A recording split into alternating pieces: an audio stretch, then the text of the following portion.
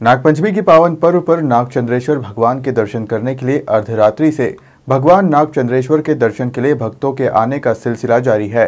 जहाँ इसी कड़ी में शुक्रवार शाम को मध्य प्रदेश सरकार के नगरीय एवं प्रशासन मंत्री कैलाश विजयवर्गीय उज्जैन पहुँचे। इस दौरान उन्होंने महाकाल मंदिर पहुंचकर श्री नागचंद्रेश्वर भगवान की पूजा अर्चना कर आशीर्वाद लिया। दर्शन के बाद मंत्री कैलाश विजयवर्गीय ने मीडिया से चर्चा करते हुए नागपंचमी के मौके पर प्रशासन द्वारा की गई व्यवस्थाओं की सराहना की और अधिकारियों को बधाई दी। में एक बार बाबा के दर्शन होते हैं नाग चंद्रेश्वर भगवान के। और यहाँ पर जो व्यवस्था है, बहुत अच्छी है। थोड़ा सा समय ज़रूर लग रहा है दर्शन करने में, पर प्रशासन ने अच्छी व्यवस्था की है। और लोग थोड़ा सा अनईजी हो रहा है, क्योंकि मौसम भी है, गर्मी भी है, पर फिर भी इससे अच्छी व्यवस्था नहीं हो सकती।